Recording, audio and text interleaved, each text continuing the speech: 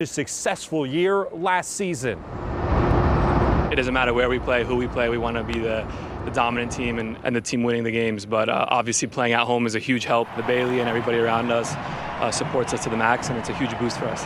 After a big season last year, clinching a playoff spot, FC Cincinnati is going into a new season as a top five team in the MLS preseason power rankings. And while head coach Noonan says that wasn't their goal, it helps fuel them for the season ahead. I think it what it does is for our group gives us more confidence going into this year that uh, we can be a good team.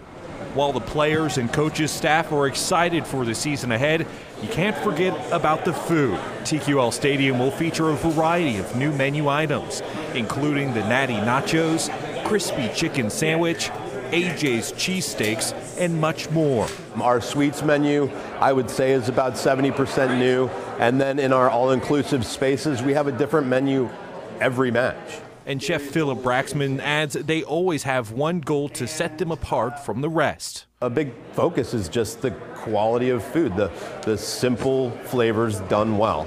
Cincinnati leads 1 0.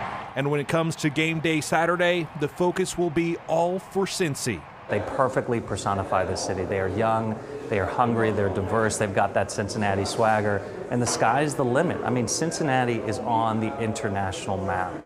FC Cincinnati will be taking on the Houston Dynamo FC again right here at TQL Stadium this Saturday. Kickoff is at 7:30 and tickets are still available.